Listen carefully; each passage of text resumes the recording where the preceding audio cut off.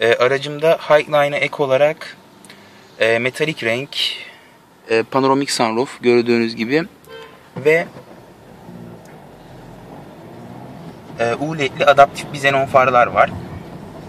E, araç Insignia'dan sonra hani pek kıyaslamak Insignia ile doğru olmaz. Neticede arasında sınıf farkı var ama Insignia'm 1.4 turbo 140 beygirdi.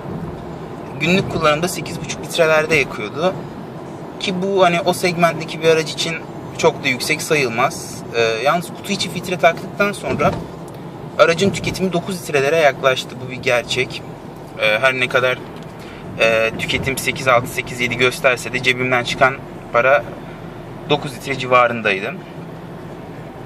Ee, şöyle aracın biraz bilgilerinden bahsedecek olursam aracın yol bilgisayarı bu şekilde. Ortalama tüketimim şu anda da aracım 411 kilometrede ve 6.4 litre gösteriyor ki bu 5000 10000 kilometreden sonra muhtemelen daha da düşecektir. 5 litreli seviyelere gelecektir. E, araçtan genel olarak memnunum. Kullanıcıyı memnun eden bir yapısı var. Özellikle Highline ciddi anlamda e, dolu bir donanıma sahip. E, aracımda 17 jantlar var ve e, ne yazık ki tümseklerde torsiyonun olmasını biraz hissettiriyor. Yani eski o Golf altındaki bağımsız gibi değil. E, ama hani e, mesela Insignia, Astra bunlar da arkalarında torsiyon kullanıyordu. Özellikle Watts tipi süspansiyon kullandıkları için bu sert de aynı zamanda. Bir Astra kadar mesela 17 jantlı Astra kadar hissettirme durumu ne yazık ki şey ne yazık ki diyorum.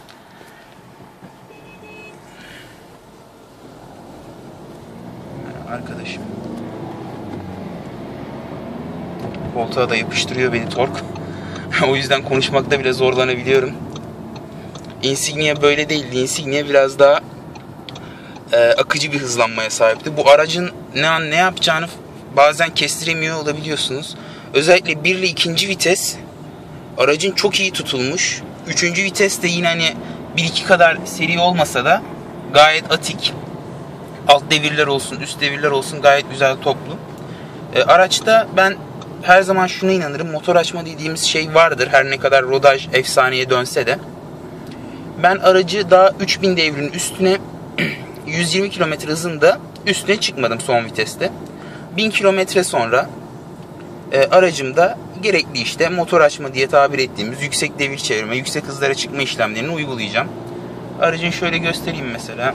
Gösteremiyorum çünkü her zaman olduğu gibi trafikte bir tane araç önüme atladı iki şeridi ortalayıp gidiyor.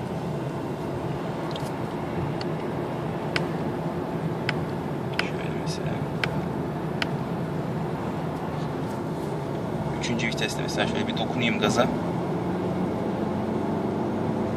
Gördüğünüz gibi araç hani gerçekten hafif bir araç yapmışlar. Şimdi hakkını yiyemeyeceğim. Adamlar panoramik sunroof'um var, Highline donanımım var. Hani ağzına kadar dolu bir araç ve 1320 kilo sadece. Bu da benim Insignia'mdan 300 kilo daha hafif olması anlamına geliyor.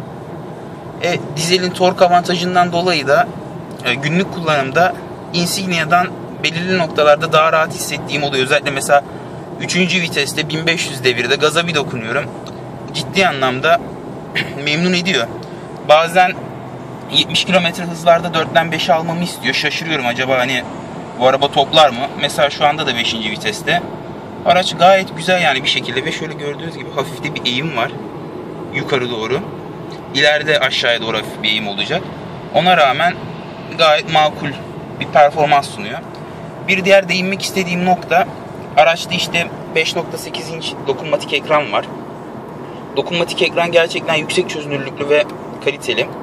SD kart girişi işte CD girişi bir sürü USB girişi ekipmanları var.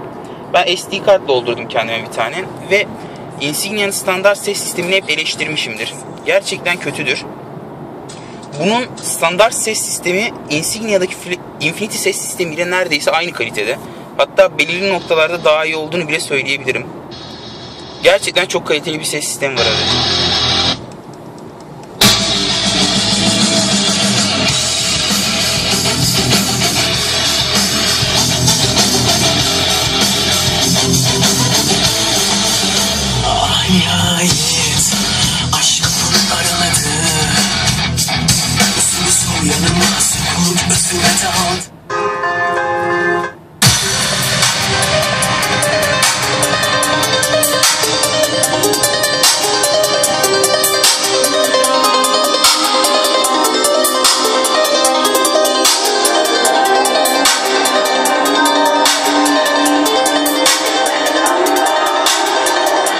Ses sistemi bu şekilde. Aracımda Highline donanımla beraber iç ışık paketi standart olarak geliyor. Bu da piyano bileklerin e, kapı kolunun yanındaki beyaz nokta, gri noktalardan geceleri beyaz ışıklar çıkıyor. Ve e, aracın iç aydınlatması da beyaz olduğu için çok tatlı bir görünüme sahip oluyor. E, aracın şöyle panoramik sunroof diyorlar ama aslında tam panoramik sunroof değil. Şöyle açılıyor şu anda. E, araç sunroof şeklinde açılıyor. Normal standart benim Insignia'm kadar açılıyor. Ama e, aracın e, görüntüsü panoramik sunroof. Yani kapalı olduğunda tam bir panoramik sunroof gibi büyüklükte. E, bu da gündüz kullanımında arkada oturan insanlara veya işte önde oturan insanlara daha fazla güneş gelsin, daha fazla güneşli havayla e, temas edebilsin diye. Aracımda orijinal %65 arka camlar karartmalı. Aynı şekilde panoramik sunroof'ta da karartma özelliği var ve güneşi tam anlamıyla içeri almıyor. Ki bu güzel bir özellik. Benim Insignia'mdaki sunroof ne yazık ki açtığımda e, olduğu gibi güneşi kafama geçiriyordu. Bu o konuda biraz daha yalıtım anlamında başarılı. E, araç dizel ama cidden hani keyifli bir şekilde. Bakın mesela motor sesi de fazla duyulmuyor. Yol sesi de fazla duyulmuyor ki üstüne Bridgestone Turanza lastikler var. Bu yol tutuş anlamında iyidir ama sert bir lastiktir. Bu araç Bridgestone Turanza ile yine biraz lastik sesi alıyor. Almıyor desem yalan olur. Özellikle 100 km hızın üstüne çıktığınızda ufaktan hissediyorsunuz. Ama yol tutuş anlamında günlük kullanımda Insignia'ma araca benzemiyor. Mesela tork avantajıyla 3. viteste hiç gaza dokunarak gayet güzel aracı sollamış oluyorum.